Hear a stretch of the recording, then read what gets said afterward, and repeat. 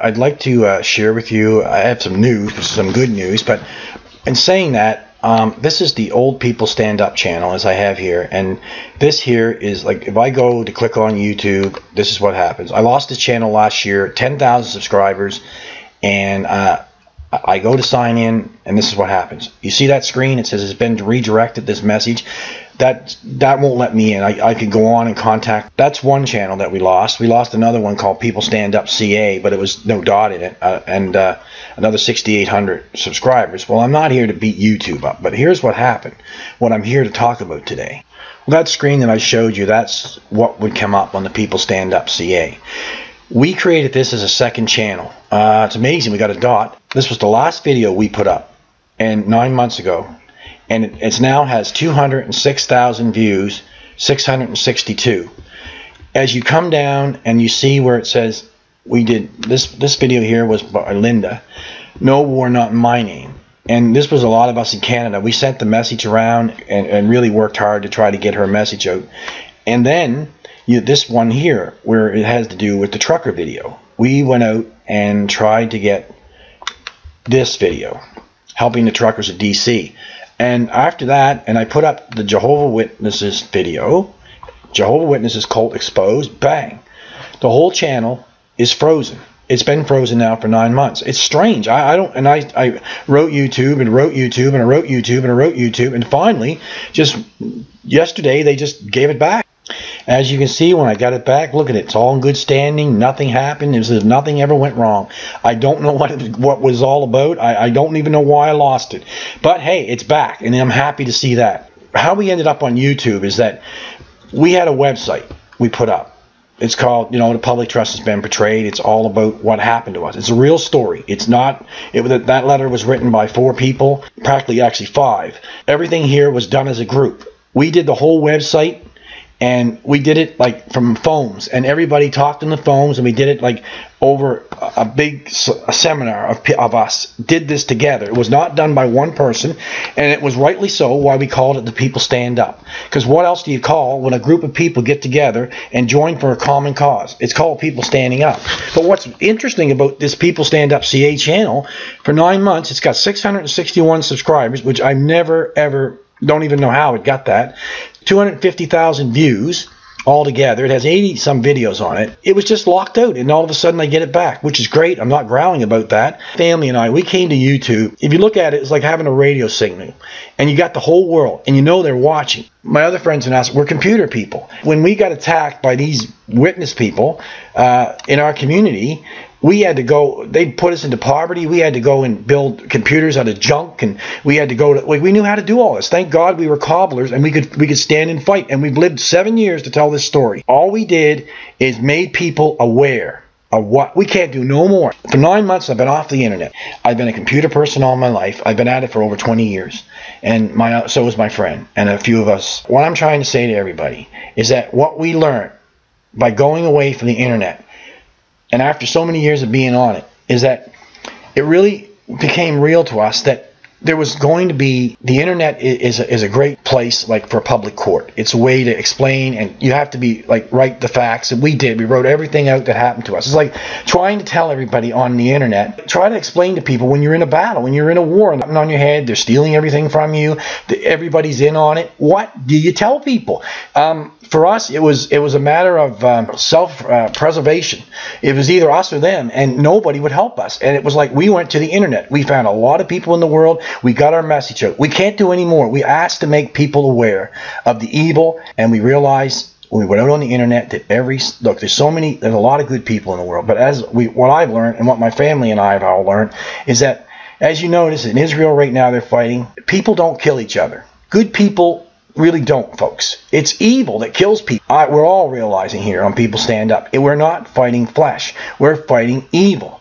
And it's for it's pulled its damn eyes, the wool over our eyes for, for decades. I mean, we can't see what's there anymore. We just see all kinds of stuff that the TV or the like. One thing I want to talk a little bit about, and I will make some more videos, but the internet. Everyone thinks the internet is. We all love it, and it's great. Remember that video. The guy said, I'm mad as hell. The networks, I'm not going to take it anymore. And about, he talked about television and how it's a freak show and how it's the most awesome weapon on, and it can take presidents, prime ministers, and popes down. Well, think about it. The internet is interacting with us. It's like a big machine that's, that's we're interacting and it's, it's taking our data. They can read everything on the internet, everything. I know this from my own experience. Everything that you go to any website pings off your IP address, goes right back to your home. There's nothing you can hide. So we're out here for the whole world to see. We were attacked as a people, and we did this as people, and that's why it was rightly called the people stand up. We will not take it down because there's no, there's been no, no end to what happened to us. There's no closure. We, we made our province, our people aware of the situation that has grown over 80 years these people have been here. And they have grown deep in the roots of our province. And we know that this is the kind of thing, it's Trojans, and you can't see them, but they're there. And we know because they, we have the bruises, the bangs. We have, this is real. This is not some damn story we, we read out of a book or we're reporting to you. We're reporting our lives, what happened to us, how they hurt us, how they tried to destroy us, how they tried to wipe our way of life. These people and everybody they dragged into this, they dragged the political system here in Nova Scotia into it. They managed to drag all all sectors of anything to do with government. They wiped out our business. They wiped out our company. And we had a right to tell people. We told people the threat. If, if look, I would hope that if something was going on in your community, that you would be the, have the guts to go out and tell somebody the truth. And we did. But the people would not listen, and it's so far fetched because it's in Canada, and nothing like this happens in Canada, right? But it did. It happened to us. I have the bruises to prove it. I have the, the papers to prove it, but it doesn't matter. I understand now. The whole world is corrupted.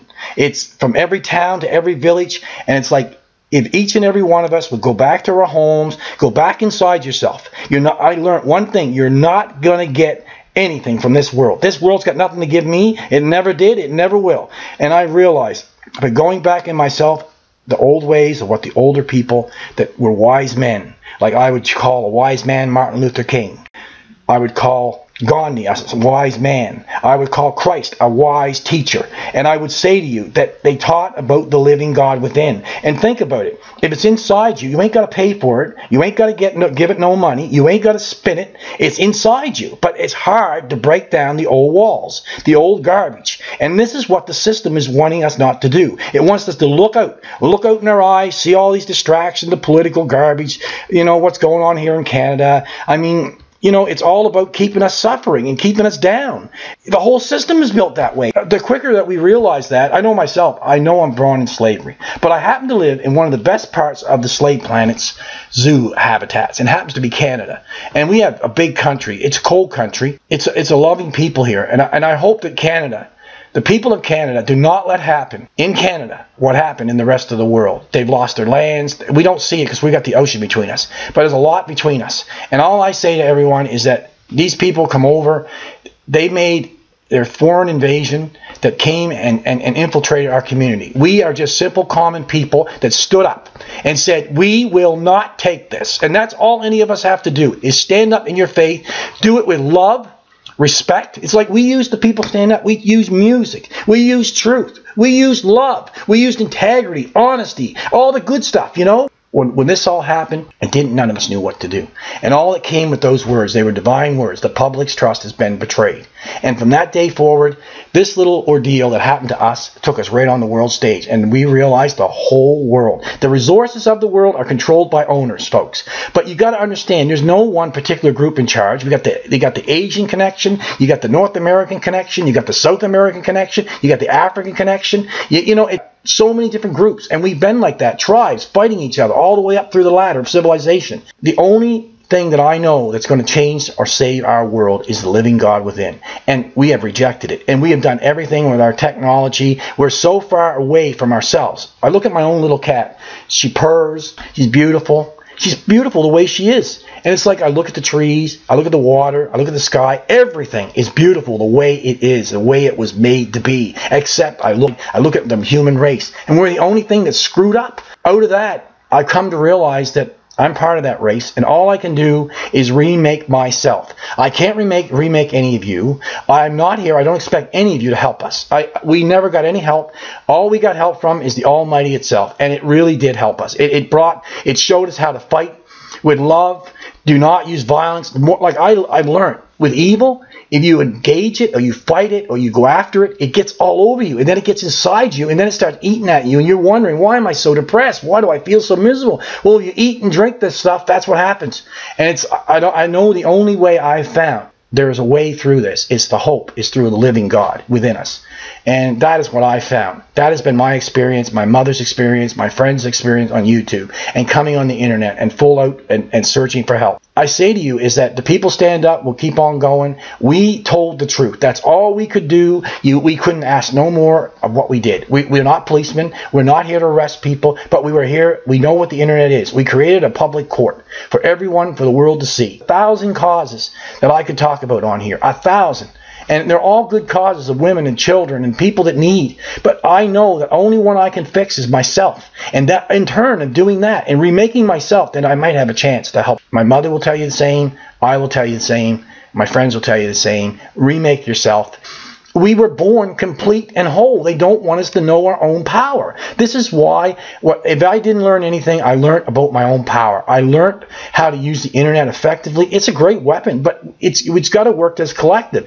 Everybody's got a different cause. There's poverty. There's shortages of food. There's there's air quality being destroyed. There's oil crisis. There, I mean, guys, think about it. Everything is about. We told the truth. We can't go any further with this, and we leave it at that. What else do you do? They made me angry, bitter, and mean, and my family. But over the time and the internet and learning people, and learning the truth about the world, it freed us. And we went and found the freedom within you. It's inside you. No one has the answers. Anyone that knows and tries to tell you that they know, don't know.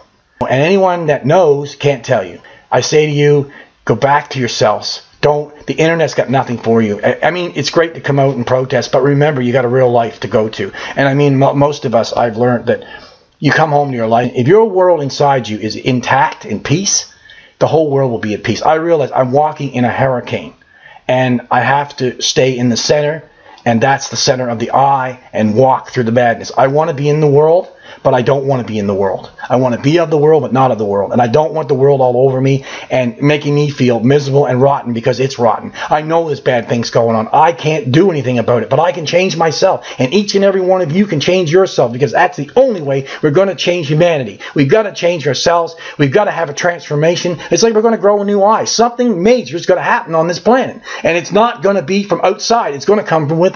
Humanity's going to grow up.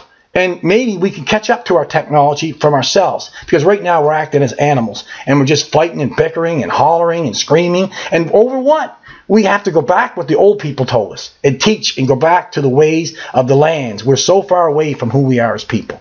And I, that I leave you. And I, I love you all. And my old friends, if you find me and you find the people stand up and who we were, We've been on here a long time, seven years. This has all been going on, and uh, we leave it. We forgive these people. You may say, "Why do you forgive these people?" Because by forgiving these people, we get our power back, and we can move on. And they are the ones stuck with the bullshit, not us.